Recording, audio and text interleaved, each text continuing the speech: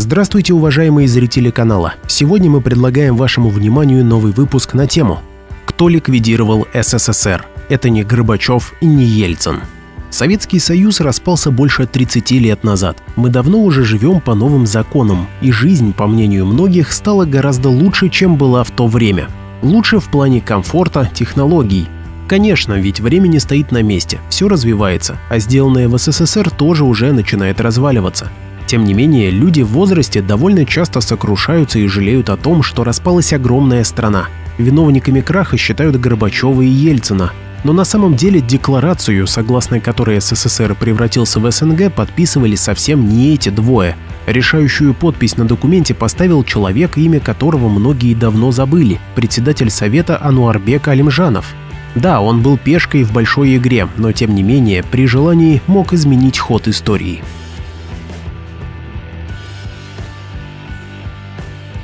Сначала разберем, почему многие люди считают Горбачева и Ельцина виноватыми в развале СССР.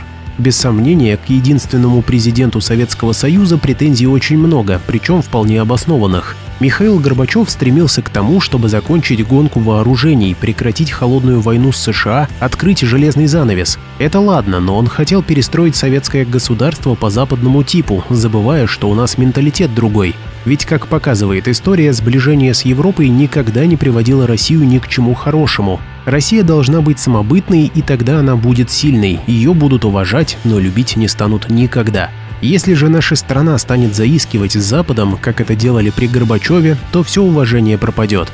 Тогда начнется самый настоящий шантаж, борьба интересов и эксплуатация России, как говорится, во все щели. Хотя, если посмотреть более глобально, то тут уже не сама Россия выступает бельмом на глазах у Запада и США, а то, что она основной претендент на мировое господство. Это ой как не нравится Америке. И даже если Россия этого не хочет, Запад все равно видит в ней конкурента, потому что Евросоюз и США сами хотят господствовать на планете. Подумайте, вот если бы Россия тоже стала членом Евросоюза, то нам было бы лучше? Нет. Например, Болгария или Латвия давно уже члены ЕС и НАТО, а живут ли там люди лучше, чем у нас в России? Нет, там такие же проблемы, что и в нашей стране, особо ничего не изменилось.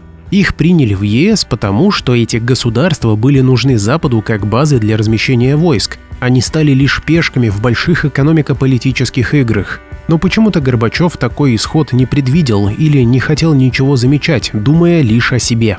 И он ничего не сделал, чтобы его родина осталась такой же, какой была при его рождении. Он не сохранил союз, подав в отставку 25 декабря 1991 года. Хотя интересно, что в своей последней речи на посту президента Михаил Сергеевич назвал именно создание СНГ причиной того, что он уходит в отставку. Вот его слова. «Я обеспокоен тем фактом, что люди в этой стране перестают быть гражданами великой державы, и с последствиями может быть очень трудно справиться всем нам». Одновременно Горбачев защищал свои реформы, которые проводил для того, чтобы направить СССР к рыночной экономике. Также он защищал собственный послужной список. Тот день, когда выступал Горбачев, Верховный Совет СССР еще действовал, действовала и Конституция Советского Союза. Тогда можно было просто сменить президента и ничего не разваливать, но нет, идем дальше. На следующий день, 26 декабря, состоялась последняя сессия Верховного Совета. На ней не стали говорить о том, что нужно искать нового главу СССР. Депутаты просто не решались вступать в конфронтацию с Ельциным, который был против сохранения Советского Союза. Как раз в это время Ельцин набирал силу в правительстве.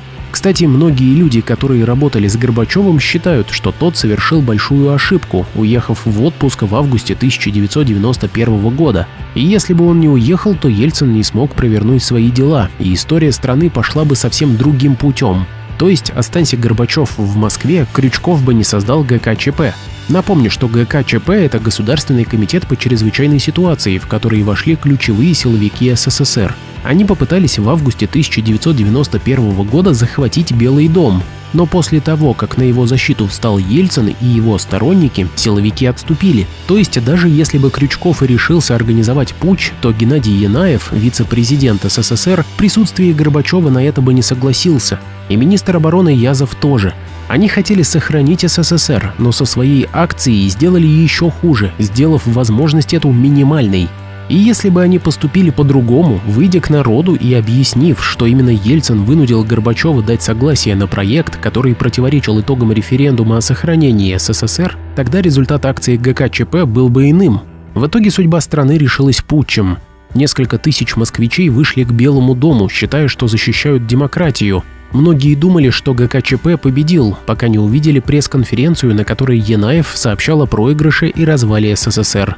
Этот проигрыш мог бы компенсировать аресты Ельцина, но для того требовалось штурмовать Белый дом, пролилась бы кровь. ГКЧП на себя подобную ответственность взять не могли. Итак, Ельцин стал лидером. Еще осенью 1991-го он даже не собирался объединяться в СНГ, ведь ему внушили, что в России, где много нефти и газа, никакого экономического кризиса не будет, Кормить она тоже никого не должна, пусть каждая бывшая республика справляется в одиночку. При этом Ельцин тоже не хотел, чтобы его считали разрушителем Союза.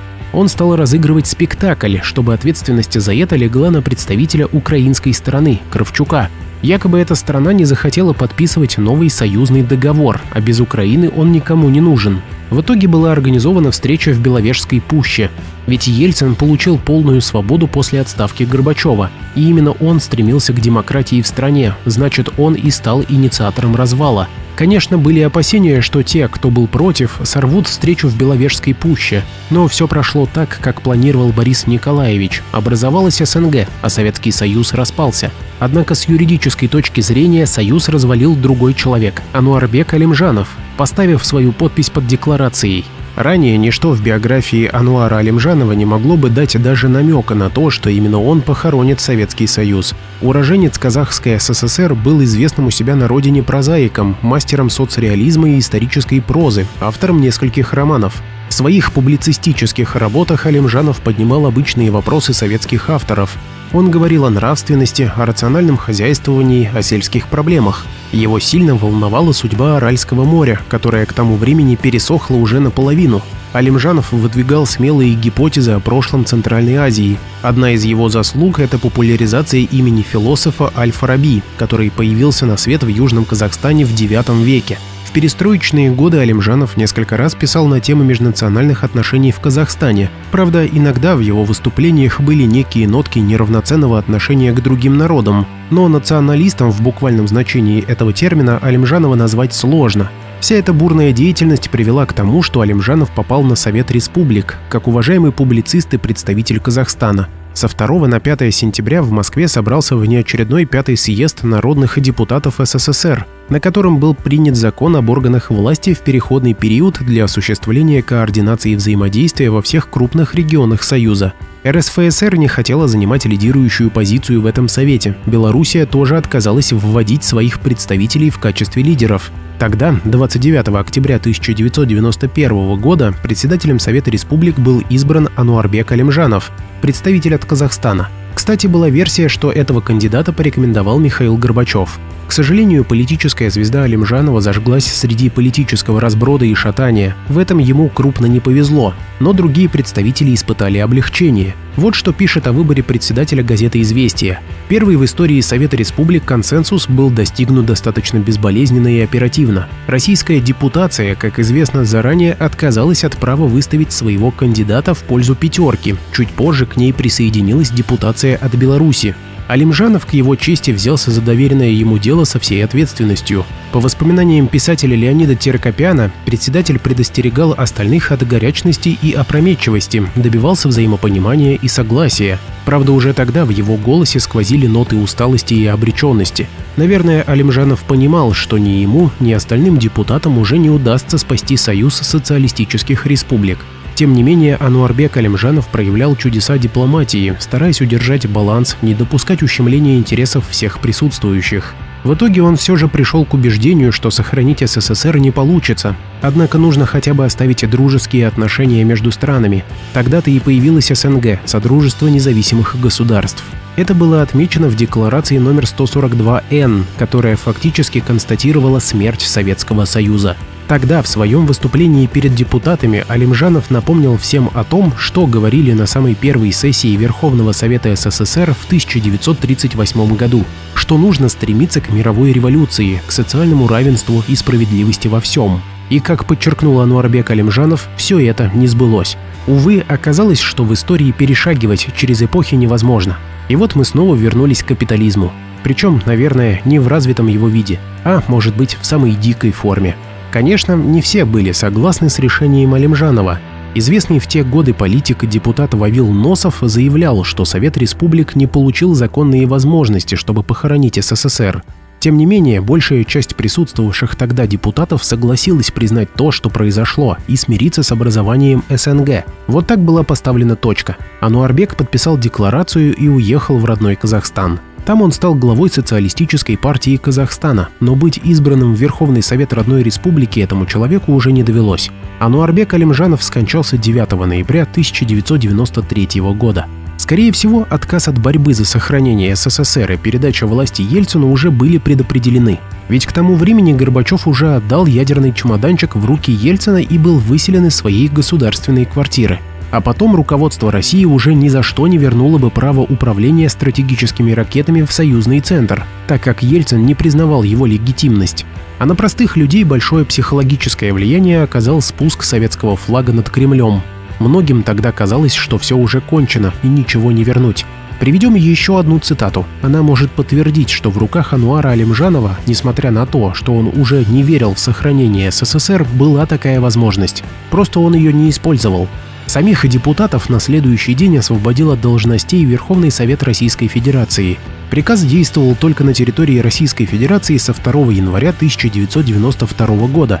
Но ни тогда, ни потом никому не пришло в голову, что у депутатов ВС СССР формально оставалась целая неделя, чтобы изменить решение, переголосовать и снова создать Советский Союз. Однако не стали, ведь наступал Новый год, долгожданная свобода. Правда, в магазинах по-прежнему ничего не было. Вдумайтесь в эти строки. Еще неделя до распуска Верховного Совета Российской Федерации. Это была реальная возможность спасти огромную страну. Но ни Ануар Алимжанов, ни остальные депутаты этим пренебрегли. Почему они сдались, не стали бороться до конца? Не хотели, устали, боялись давления со стороны Ельцина или Горбачева? А что бы было, если бы Алимжанов и остальные депутаты просто не стали голосовать за распад? К сожалению, история не имеет сослагательного наклонения, и ответа на эти вопросы просто нет. Однако ясно одно. Последнее слово в том громком историческом событии оставалось за Ануаром Алимжановым, но он не воспользовался шансом сохранить СССР. Для того, чтобы посмотреть и узнать еще больше интересных фактов неизвестной истории России, подпишись на канал и поставь лайк. Мы постараемся донести до каждого зрителя настоящую неизвестную историю России.